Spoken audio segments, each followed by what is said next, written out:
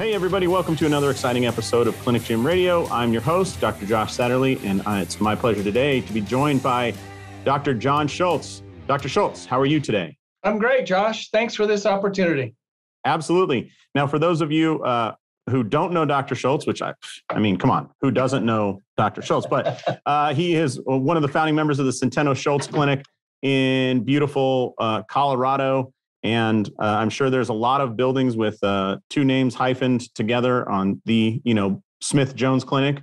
But you really specialize in the world of uh, what did you call it? Orthobiologics. Correct. Yeah. And to me, what that means is you help get active people back activer. Absolutely, Josh. The, yeah. the kind of the journey started 16 years ago when we closed the door on a successful pain practice where we were doing high dose steroids, we were burning nerves, and we had a pain practice uh, dispensing opioids. Uh, the problem was that despite it being successful, we weren't sleeping at night because intuitively knew it wasn't the right thing. Yeah. At the same time, there was an article by Sakai that demonstrated the regeneration of a disc. And the rest is history. So uh, for the last 16 and a half years, this is all we do. We don't do it on Monday, Wednesday, and Friday, followed by Botox and filler or radio frequency every single day. And Saturday and Sunday, when we're not in clinic, we are consumed by how to get athletes, weekend warriors back in the game utilizing PRP or bone marrow derived stem cells or both. That's our commitment. Because you, Josh, know that surgery all too often, number one, can be life changing. Life changing, mm-hmm. not to the good. Right. Not a positive life change. And you can't take it back. It's like yep. a medial meniscectomy, taking out a meniscus tear. Well, you know what? Well, there's three uh, high level studies that have demonstrated it's no better than physical therapy. But the business model for orthopedic surgery is you got to keep cutting out that meniscus. Yeah. So we're here also to advocate for patients and their long term performance and longevity. I love it. So most of the listeners to this uh, podcast right now are actively going to their chiropractic clinic right now. They're they're actively treating people in their physical therapy location. Some strength coaches listening, and some blended clinics. And so I think we're jiving with this whole thing. I love the fact that you came out of a quote unquote pain clinic and moved to an active approach because I think everybody listening here, it drives us nuts as conservative therapy providers is like, hey, you're, this thought of like uh, treat pain, treat pain, treat pain. It's like the people in front of me, the patients are telling me that's not all they want. So this idea of that being the only marker or the only goal is it's ridiculous. It's unbelievable. And it's certainly not the life that that person in front of me is asking for. Like again, you could numb all their pain. And if it's like, well, in exchange for you get to sit on the couch and never do any, never go on another hike or another bike ride, they'd be like, forget it. I, I I'll suffer through everything. And that seems like that's the market you're really serving, huh? That's it. I mean, just recently in the last three months, we have, or I have personally helped three people obtain a goal, like a life changing goal. There was a 75 year old who had, he called it a trophy uh, elk hunt. That's all he's been talking about for the last yeah. three years. But yeah. he had this sciatica and he was like, I'm going to do it. I'm going to do it. I'm doing it. And he did it. He absolutely awesome. did it. Same thing last year with someone that wanted to do heli skiing. He's going with these rocket scientists. We got him so we could go and really enjoy the deep powder in British Columbia. So it's about, as you speak, about passion and goals, not sitting on the sideline. Yeah. Yeah, and you think about all the other uh, what, what do you call it? Unintended consequences of of that man being able to go on that trophy elk hunt. So he had to prep, he had to hike. Yep. He's better with his kids, he's better with his grandkids, he's better at work, he's motivated. Every single health marker just jumps if you can help him achieve that goal. Versus, hey, take this prednisone and a you know and some Tylenol, and your quote unquote pain will go away. That like it, that doesn't serve doesn't his work. goals. No one, yeah, no mean, one wins except for pharmaceutical. Right. And we've already seen that. This is the same group of people that told us that no one would get addicted. No one's teeth would rot because of all the chronic steroids. We yeah. know the integrity of those people. Yeah. we choose not to interact with them. Yeah. We also have a large CrossFit uh, community here in, in the Denver Boulder metropolitan area. And we have single handedly helped many of our athletes go on to compete both regionally and on a national level. So that's, that's awesome. Really exciting. Yeah. Yeah, it is. So, uh, what I'd love to do with uh, today's interview, I want to make sure that everybody listening knows where they can move this chess piece into play in their patient kind of journey. Because I think traditionally, I graduated uh, chiropractic college about 15 years ago. And I think traditionally, as you said, it was like uh, you take them as far as you can. If you can't have success with that person, like big success that they want to achieve that goal, our options are send to pain management, send to surgery. And it's our job to figure out which one they're going to, because whoever they go to, they're going to have a procedure, right? Like we, we need to be the filter. Unfortunately, yeah. like it's pretty rare. And there, there's a short list of surgeons, and that's the only ones I send to in my local area of like that will tell you like, hey, you don't you don't need surgery, go back to whatever. But where do these orthobiologics play a role in these patients that have ongoing pain or they've plateaued at a four out of 10 and they just can't seem right. to get better? So, in two specific areas, as you mentioned, if a given patient has plateaued, and despite mm-hmm. your gifted hands, your gifted technique, you're just not making progress. Don't forget my good looks and yeah, I mean you're a very handsome yeah, guy. It's a it's an audio podcast. Yeah. if you've plateaued mm-hmm. and you don't want to have a surgery, or you want to look at everything but a surgery, okay, mm-hmm. so that's it. And the other time is is we do a lot of patients with instability. And I'm here to tell you, we inject ligaments, we inject, inject, uh, inject ACLs, but we can't treat them. We keep, can't maintain them mm-hmm. with the daily. So oftentimes, we have a whole list of chiropractors that we've worked with successfully mm-hmm. to see them after the injections. I mean, we see patients all over the nation coming to here because this is where it all started. So, um, really, two different things a plateau or a patient that needs continued care in a local community, but they came to the Denver Boulder area to get treated. Okay. And just to make this very tactical, and you know, obviously we want everybody listening to form a relationship with some provider of this. And yep. hopefully if they're in the Denver area, it's the amazing Dr. John Schultz, right? I mean, like, why go anywhere else? But in all seriousness, specific conditions that you think are are well served. Because I'll tell you, chiropractors, we used to be like, you know, hey, I have back pain or neck pain. Now I would say that every listener of this podcast is getting people in their office every week, if not every day, with plantar fasciitis, knee pain, foot pain, hip pain. And once they establish that relationship with a provider, patients typically trust them. And so they go back no matter where the ache or pain is. But if you could give us the top three to five conditions where you're like, this needs to be at the top of the algorithm. Yeah. So, first and foremost, before I dive into that list, it's all related, right? I mean, what shoulder's not related to the neck or which elbow problem? Hey, brother, you're talking to a chiropractor. We've been preaching exactly. this message so, for decades. like, we've been trying to send this message. Yeah. So but we understand it. We actually embrace it, right? Yeah, good. There's no such thing as a hip problem without looking at the at the back. Right. So too with right, the right. cervical spine and the shoulder. So I can tell you categorically that we have developed a treatment for cranial cervical instability that's provided nowhere else in the world. Yeah. So okay. rather than Perfect. putting in the hardware at the base of the skull and into the cervical spine, yeah, we do it here. It's done okay. the back of the mouth. So, but it's all yeah, it's in the back of the mouth. We go right next wow. to the cord, and we put patient stem cells. We've done about 700 of those cases to date. We have a registry, and we've made some tremendous successes. Great. Not everyone gets that success, but if we can save one person from that sure. surgery, it's a home run. Oh yeah. Okay? Yeah. Number two, rotator cuff, uh, and also posterior. So AO, AA joint, any of the cervical facets. Number two, the rotator cuff is an easy, as long as the uh, injury is not a retract, a full retraction, right? Okay. So if there's a tendinosis, if there's a partial thickness tear, this is a great place for orthobiologics, either PRP or bone marrow derived cells. Why? The problem with the rotator cuff is the number of stem cells has gone down. So it makes no sense to cut it, put in some anchors with the surgeon because the integrity of the tissue is compromised. So let's beef it up with either some bone marrow or some PRP or both. And it's very easy to see. So that's really an easy one.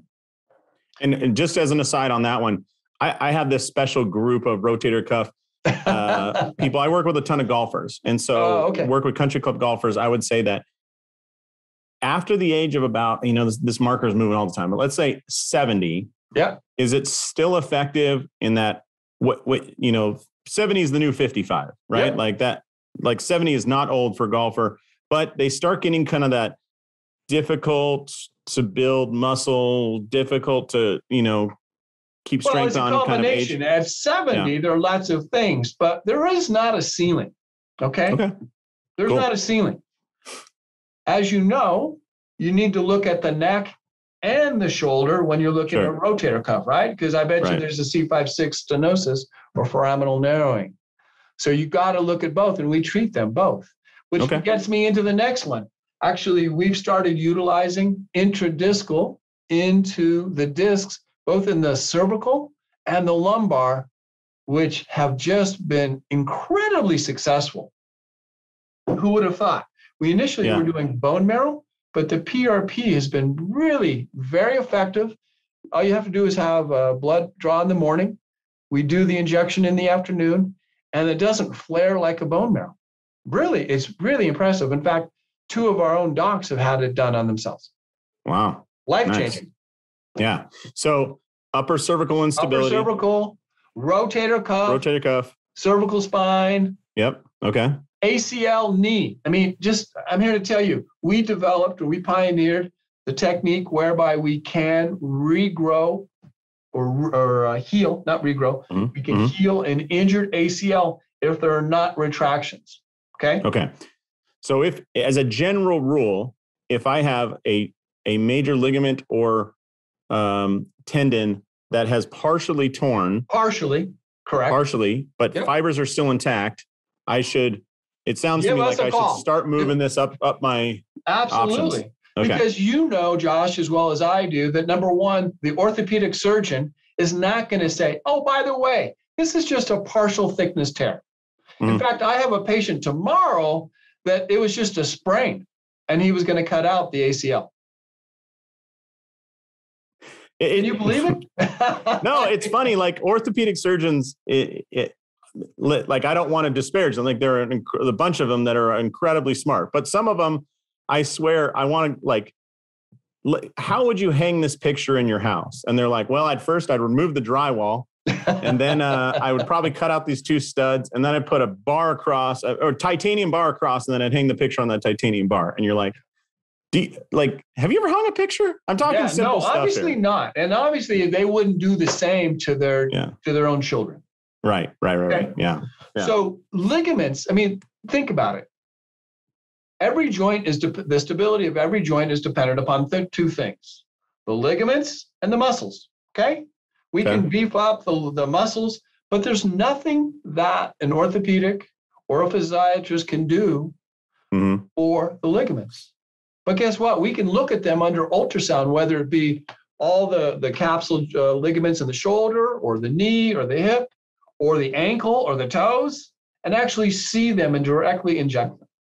That's an easy one. So any patient that you have that has mild hypermobility, all the way up to those patients with EDS. EDS is Ehlers-Danlos syndrome. Yeah. Gosh, what else are you going to do? You're not going to do surgery on these patients. Right. We've had some life altering results in those patients. So Very cool. neck, shoulder, low back, knees, home runs. Yeah. Let's dive. I mean, you talked about ACL and, and the neck and shoulder.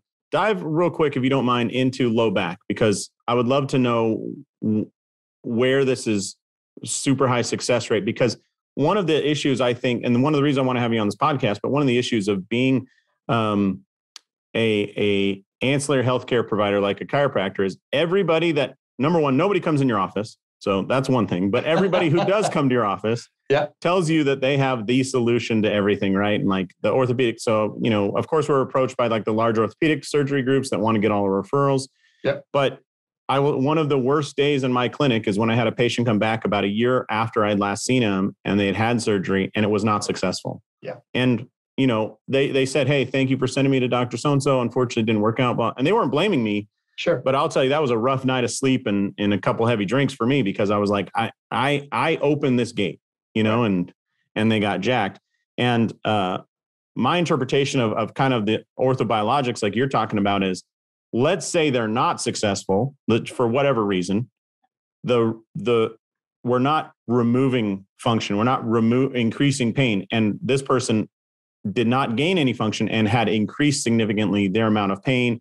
And I could see in front of me, it was clear as day, their quality of life was significantly lower than when I first met them, you know, and that that really sucks. So the the surgery is, you know, high risk, high reward sometimes, but it seems like you are in a uh, a low risk, high reward scenario. Yeah, I mean, if you do a, a, PRP or a stem cell and it doesn't work, you can go always have surgery. There's nothing to prevent you from having surgery. But the converse is if you go have surgery, if you go take part of that lamina out during a laminectomy, yeah. or if you take part of that disc out with a discectomy, the landscape as you know it has mm-hmm. forever changed. Right. Most importantly, the stability, the ligaments that all hold this functional unit have now changed. Right. Yeah. And you can't get it back. So, so I think it's probably reasonable to start with what's our approach? Our approach is not the, you know, let's find the generator of your pain like most clinics.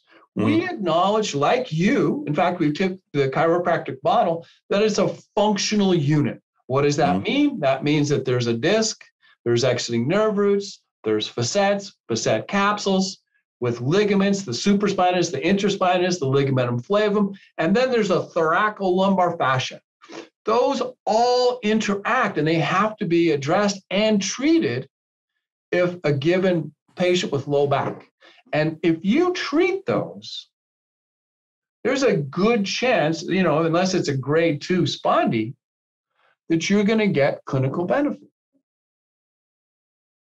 but it's when you look at it as a functional unit. The other piece that, Josh, many people miss is they miss the tendinopathies. That's to say, yeah, you know, I, I got the disc and I got the facets, but they miss the glute med and min tendinopathy, both on mm the origin or down on the greater trochanter. Or mm they missed the, the poor performing or malfun- or dysfunctioning SI joint. We are absolutely uh, almost paranoid about looking at all the tendinopathies, looking at all the other things that can go wrong. So to give patients the best clinical outcome. I love it. Uh, real quick, Dr. Schultz, while people are listening, can you, if people are jiving with what you're saying and they're like, this is where I want to send people, how can listeners of the show, again, mostly chiropractors, physical therapists, how can they get a hold of your clinic? Yeah, so we have a website, centenoschultz.com. There's um, also, uh, hopefully, Sarah, who's helping me do this, you can have my email. If you have any questions, just email me and I'll help you. Mm-hmm. I may not get in the weeds with you, but I will, in a timely fashion, get you to the right person because we're committed to making a difference in the community. Because when you make a difference in the community, the families and the children uh, prosper. Love it. So, talking to professionals here, tell us you said you mentioned recovery and so let's just say I, go through I have six weeks of care with somebody and we've plateaued and I go, hey, I, I think, you know, PRP or stem cells the next thing. So I refer them to your clinic. For that patient, what's the recovery time for them after that? I mean, is it almost immediate? Do you say, hey, no movement for 10 weeks? What's the it just depends. Obviously, a patient that has stem cell into the bone in their knee is going to yeah. be different than someone that has just a ligament injection along the atlas. Mm-hmm. So it's just going to depend upon what procedure they did. Obviously, that first one to two weeks, we're going to ratchet down the, the level of mobility. Mm-hmm. But we do want you moving. We don't want you on the couch. So you're not sending people home with immobilizers and, and braces and that kind of stuff? Well, with the exception of a, a, a knee, uh, an unloader. Okay. So let's say they have a medial compartment, a medial meniscus, or mm-hmm. a, a, lesion on the medial compartment. We're going to offload it. Okay. okay. But we do not want you sitting on the couch. So same okay. too with uh, all the ankle ligament stuff that we do. Mm-hmm. We're going to stabilize it because of the three phases. The three phases of ligament healing. You know, there's a honeymoon, then there's a disorganization, then a reorganization. We want to give you some artificial support, but you got to be out there doing the work. Yeah. Okay. And, and giving you like a timeline for those things, is it, you know, four to six weeks like we would Yeah, no, no. So surgeons? typically it's four weeks for the unloader or okay. the ankle brace, with the exception if they're going to go out and try to kill it, if they're going to do a prolonged hike, if they're going to go snowshoeing, I want them to put the brace back on. Okay. Sweet. So this is not a, uh, this is not like a, a you know, the old version of, of ACL, six months of, of rehab following. Absolutely yeah. not. Rehab's important, but if you look at the animal model, animals don't have the luxury of just sitting at the on the couch and watching Netflix, right? They got to yeah. go out and, and and you know do the work. Yeah. So too.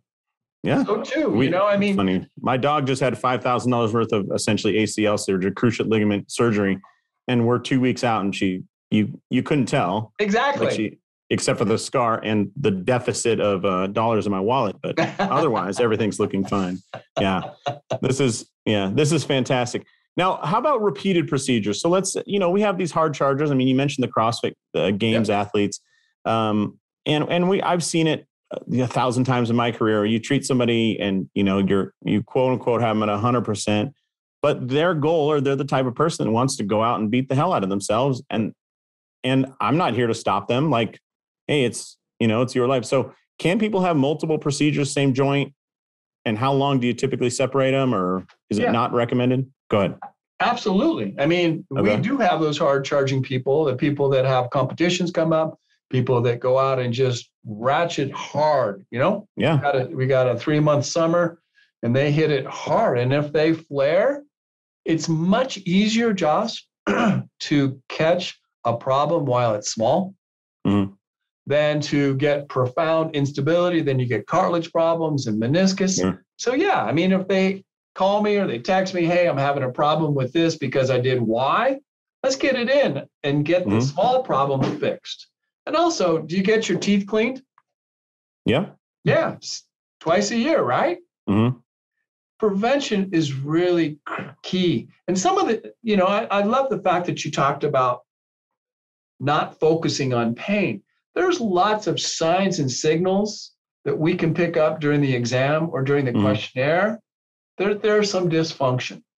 Mm-hmm. You know, mm-hmm. those little muscle twitches in your legs or your feet, those are just some telltale signs that something needs a little bit of work.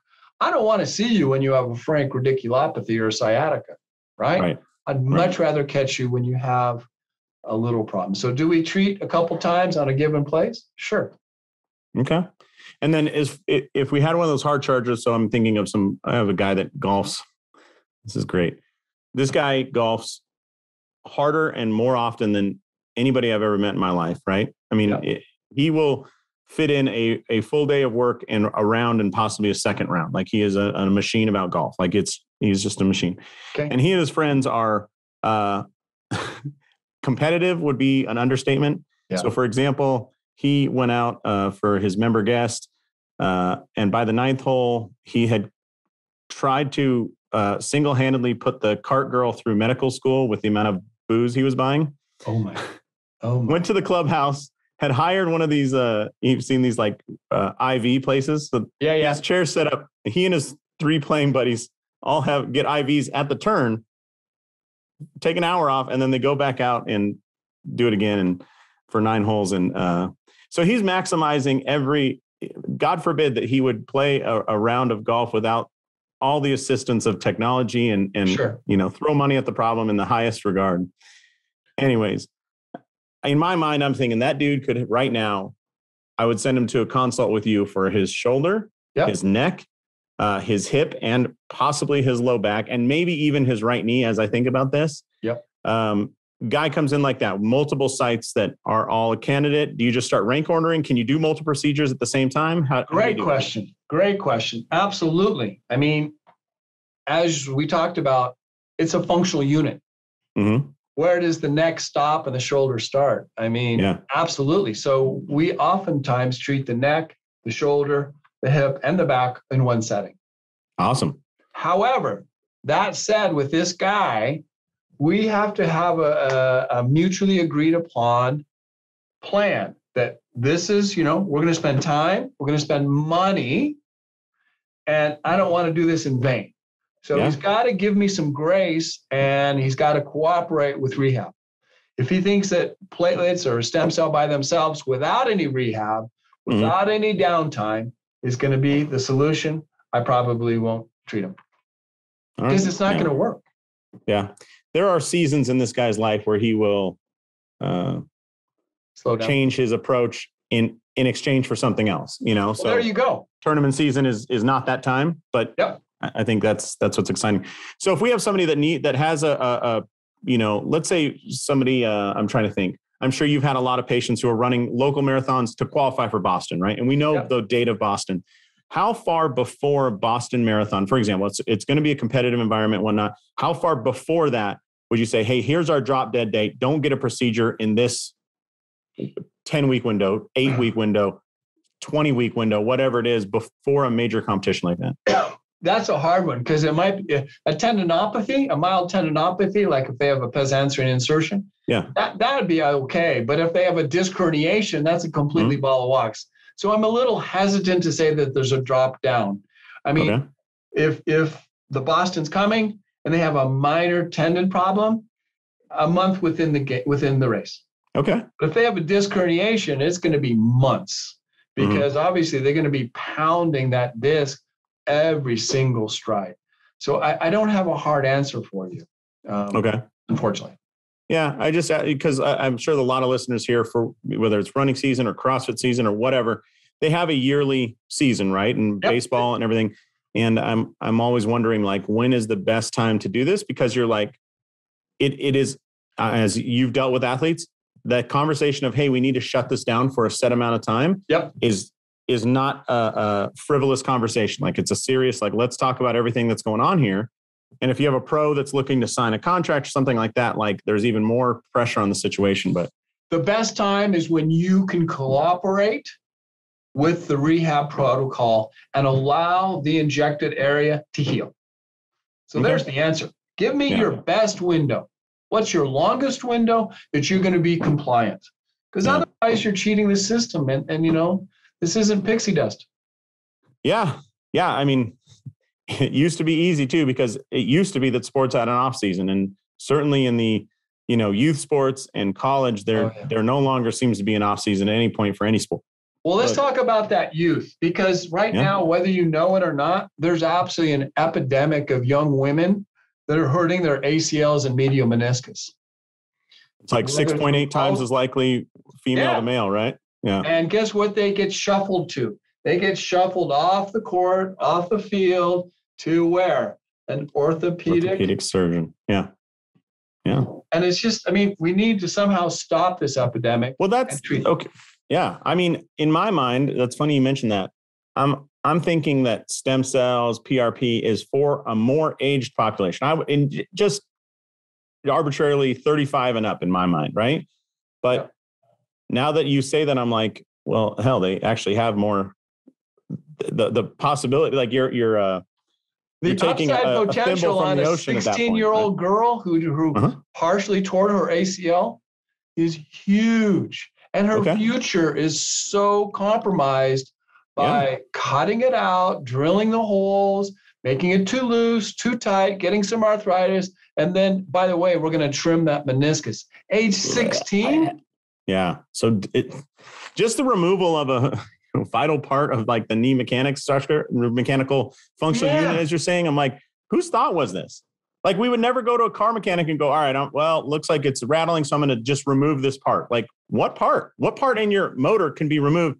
and it's not going to affect the car's performance. You know, it's a we so, both know, Josh. It's a business model. Yeah, yeah. It's a business model.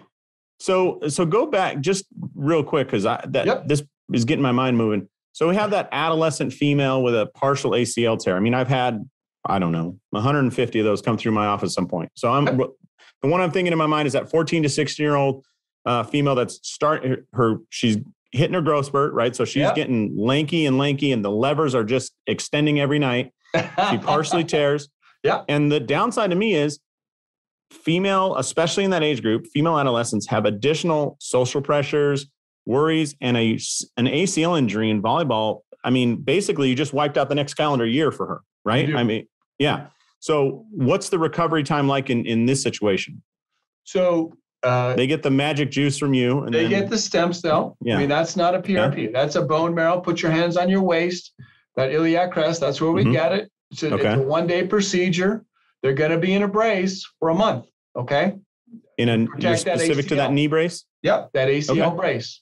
They they're able to walk. They're able to ambulate. They're going to okay. do physical therapy. After yep. that month, as long as they've got some good quad strength, they're going to come out at about three months if they've followed the strength, they're going to do what's called return to play yep. exercises. Yeah. Because if you see a, a, young woman when she um, when she lands, her knees collapse inward.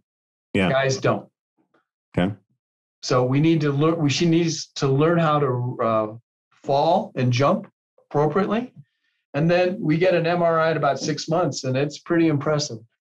Usually, so there's a chance she could injure herself in a fall sport and that fall is going to be scrubbed. The spring will be scrubbed, but she could probably start practicing with whatever sport start of summer.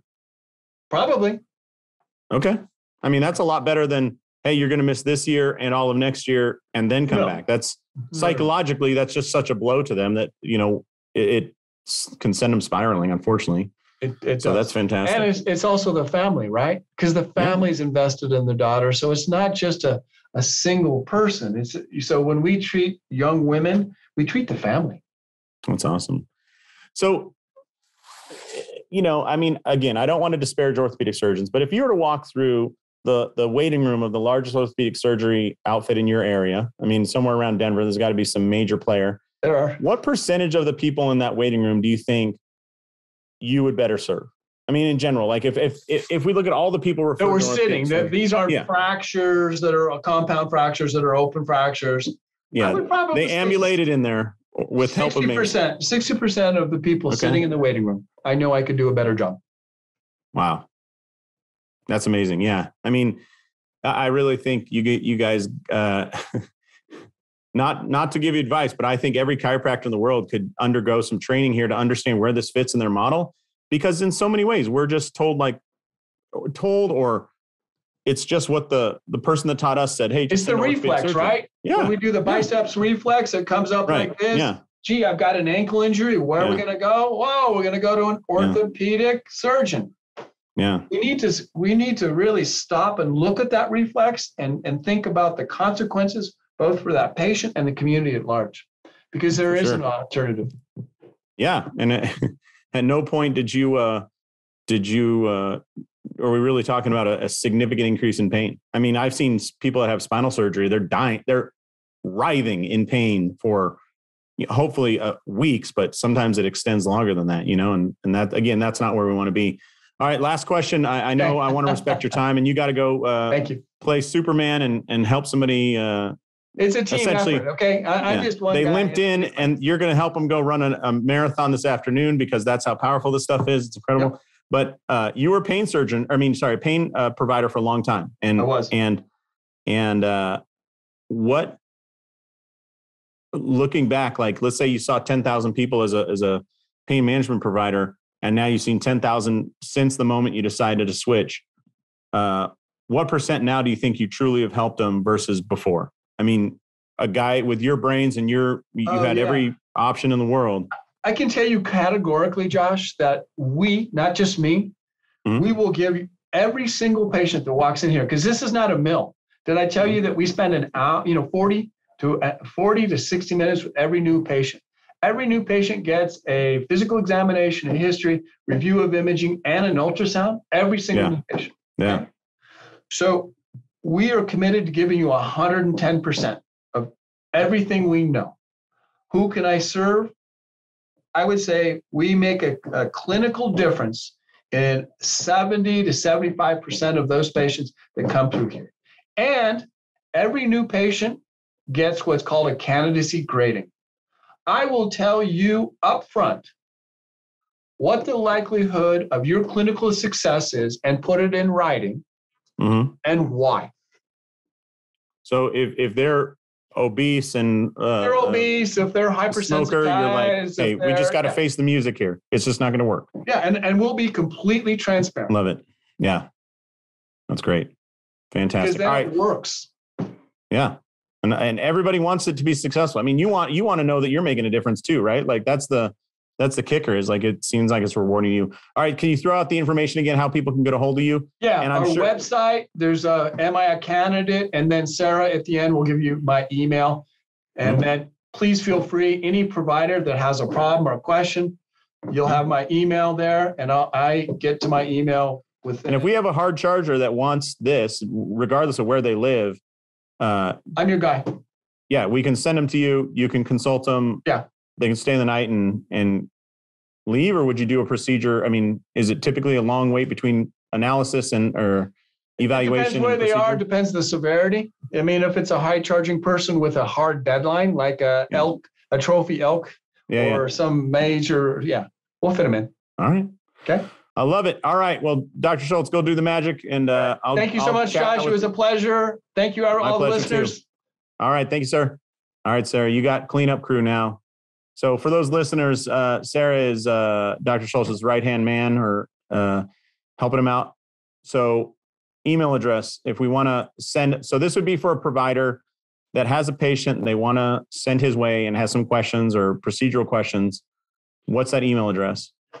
All right, the direct email address to reach Dr. John Schultz, MD, at the Centeno Schultz Clinic in Broomfield, Colorado. That is J Schultz, and that's S C H U L T Z at centenoschultz.com. If you need that spelled, it's C E N T E N O C S C H U L T Z. Um, and we're here for any questions you might have.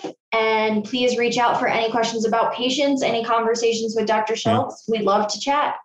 Fantastic. All right, Sarah. Well, thanks for running cleanup crew for your man. You're like the uh you're essentially the the that brawny guy, right? Like you just go behind Dr. Schultz and wiping up, like cleaning up all the messes. So I We appreciate it. yeah, and hopefully we can get some people over to you because I think this is a, this should be a high priority for anybody listening. I mean, I can think of dozens of patients that at least need the consultation because they've plateaued or they want to get to that next level. And um, you know, I do everything I can every day for them, but still can have some some issues that I can't solve. So it's fantastic to have another option. Absolutely. And if you ever have any questions, you want to reach one of our providers directly, um, you want to send a referral, you want information about a patient that we're mutually working on, please feel free to call our clinic on our general line and ask for Sarah. I would be more than happy to help you out, get you whatever you need. Fantastic. All right, Sarah, thank you so much. And let Dr. Schultz know I said thanks. And uh, for all my listeners out there, as we end every podcast, we always say go out there, maximize your license, and live the life you dream of. Thanks so much for checking out these videos. I hope they're useful. We'll cover things like rehab, exercise, business model, progressions, layout, everything else that helps you build a clinic. So if you're interested, you can click here, there, here, here, or anywhere to get more videos just like this. Thanks a lot for watching, and we'll see you soon.